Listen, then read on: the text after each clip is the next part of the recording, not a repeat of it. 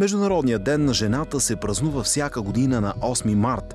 Това е ден за международно признание на економическите, политическите и обществените постижения на жените. Започнал само като политическо събитие за социалистите, празникът постепенно става част от културата на много страни. В някои от тях денят губи политическата си окраска и става просто повод за мъжете да изразят своята симпатия и внимание към жените около тях. Нещо като комбинация от западните празници Ден на майката и Свети Валентин. В други страни темата за политическите и човешките права на жените, отстоявани от ООН е силно застъпена, а на борбата за признаване на тези права на жените по света се гледа отговорно и с надежда. В България денят се празнува и като Ден на майката, въпреки че според много българи Благовещение 25 март е християнският празник на майката и жената. Първият ден на жената е отбелязан на 23 февруари 1909 г. в САЩ по инициатива на Американската социалистическа партия. Идеята за създаване на Международен ден на жената се появява след бурната индустриализация и економическа експанзия в началото на 20 век, която поражда протести за подобряване условията на труд. Календарната дата се свързва с първата масова проява на жени работнички, състоява се на 8 март 1857 година в Нью Йорк. В България 8 март първоначално се отбелязва с беседи в тесен кръг на социалисти през 1911 година, а през 1915 е първото публично честване. Като общобългарски празник 8 март започва да се празнува след 9 септември 1944 година. Отначало по предприятия, заводи учреждения се правят събрания, на които се отчита приносът на жените в производството, културата, науката и обществения живот. След 1960 година честването взема особено широки размери и става любим празник на жените от всички възрасти. На този ден мъжете подаряват цветя на жените в техния живот – приятелки, майки, съпруги, гаджета, колеги и така нататък. В училище децата често подаряват цветя на учителите си. Днес женските групи организират многобройни събития по света.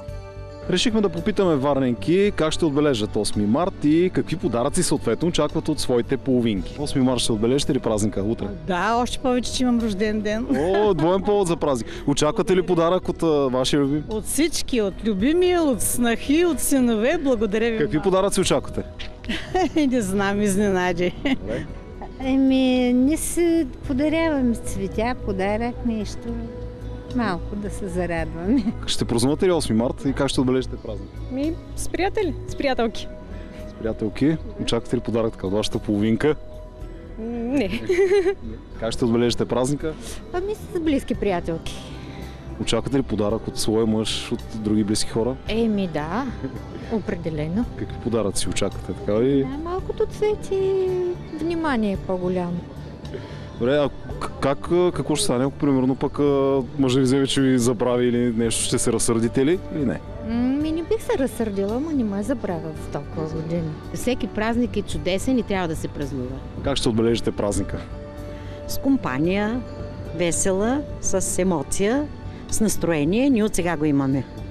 Ние със семейството, разбира се. Очаквам много цветя. Очакваме и много цветя в децата, тъй като ние сме учителки. Децата ни обичат. Не, има малко детенци, ще останем в къщи. Все пак очаквате ли подарък, цветя? Предполагам от любимия, от мъжът ми. Да. Случва ли се да ви забрави понякога и бихте ли се обидила от такова нещо? Мисля, че не, но 8 март е хубав женски празник, би трябвало да се уважи. Тук се разбрахме с вашата майка, ще си разменете също букети с цветя. Да, ние в момента си купуваме една на друга. Как ще отбележите празника? Ами, в къщи. Предвид месечното бебе. Да, а очаквате ли подаръци, цветя? Сигурност да. Вашия любим, предполагам. Със сигурност да. Е, Близки роднини. Случва ли се по някой път да забрави? Бихте ли така се разсърдила и убила от много нещо? Не, напълно нормално е. Не винаги, все пак, нали, празника е и за мама, най-вече. Празнувате ли 8 марта?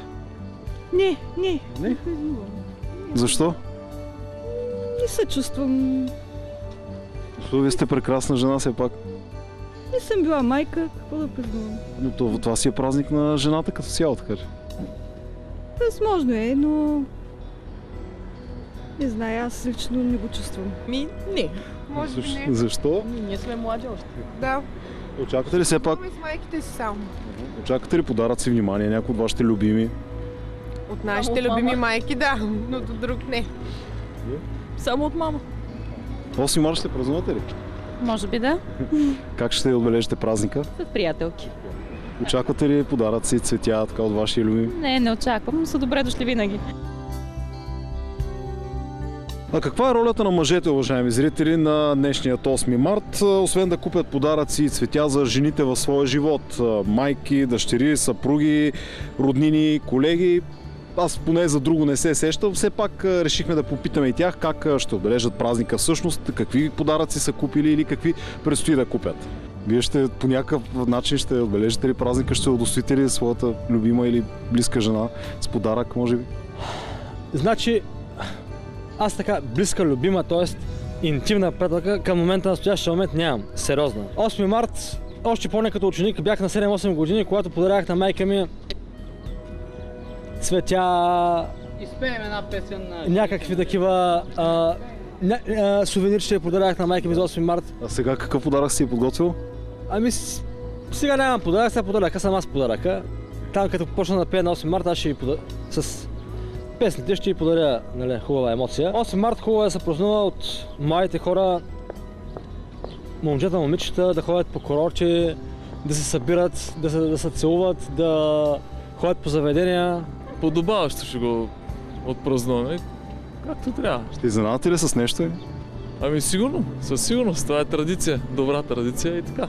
Ами аз бих го отбелязал, да. Аз съм женен от около 5 години, така че бих използвал случая да проявя някакво отношение, да купя някакъв добър мил подарък на жена си и да прекараме някакво време заедно.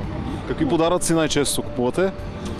Ами, подаръците, които обичам да правим, не са такива, които се купуват. Бих написал нещо, бих ам, нарисувал, може би, нещо, нали, с което по някакъв начин да я покажа отношение.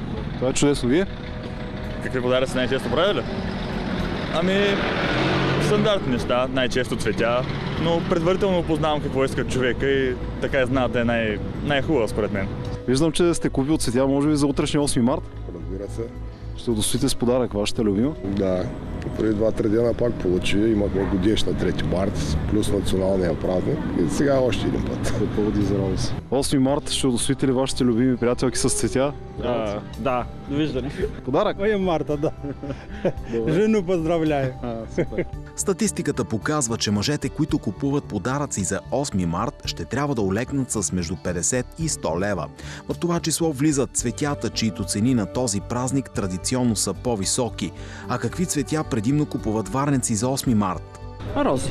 Рози. Най-вече традиционно мъже, жени, кой повече купуват? Така имате ли наблюдение? В принцип мъжете. Мъжете повече. Правите ли букети повече така по празника или единични цветя? И букети, и единични, според искането на клиента. Рози вземахме, защото са много красиво опаковани. Чудесно изглеждат. Червена роза за празника на жената е хубава. Забелязвате ли да са по-високи цените сега на цветята покрай празника? Ми, мисля, че от миналата година няма особена промяна. Също купувахме еднакви са. Освен цветя, купуваме и най-различни подаръци, като бижута и козметика, а също и евентуално романтична вечеря за своята половинка.